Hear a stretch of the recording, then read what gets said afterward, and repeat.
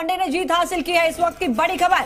चंदा पंडा ने जीत हासिल की है। भरतपुर के वार्ड संख्या 40 से निर्दलीय चंदा पांडा की जीत। इस वक्त की बड़ी खबर आपको दे दें। भरतपुर से जो सबसे पहली खबर आई है वो ये, वार्ड नंबर 40 संख्या से सबसे पहले निर्दलीय प्रत्याशी ने परचम फहराया है। माउंट आबू में वार्ड नंबर 11 के नतीजे आ गए हैं। कांग्रेस के देवेंद्र जॉनी जीते हैं। तो वार्ड नंबर 11 में माउंट आबू में कांग्रेस के जॉनी जीते हैं। वहीं पर आपको बता दें वार्ड नंबर 13 से कांग्रेस की सुमन कंवर जीती है। वार्ड नंबर 14 से कांग्रेस की जशोदा विजयी हुई है।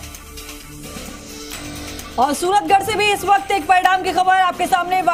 एक से कांग्रेस के सलीम कुरैशी जीते हैं। यानी अब तक जो नतीजे आ रहे हैं वो ये बता रहे हैं कि कांग्रेस का परचम फैटता हुआ नज़र आ रहा है। वार्ड संख्या एक से कांग्रेस के सलीम कुरैशी ने जीत हासिल की। इस वक्त की बड़ी खबर आप देख रहे हैं।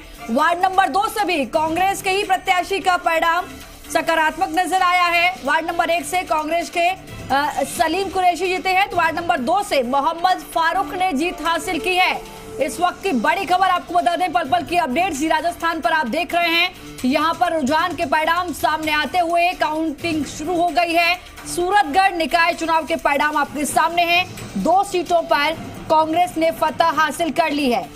चलिए, हिमांशु हमारे सहयोगी हमारे साथ कैथून से जुड़े हुए हैं, उनका रुख कर लेते हैं। हिमांशु जो भी यहाँ पर फ़िलहाल परिणाम आ रहे हैं, वो यहाँ पर संकेत देते हुए कांग्रेस के लिए तो अच्छे साबित हो रहे हैं, लेकिन बीजेपी को इससे परेशानी ज़रूर होगी।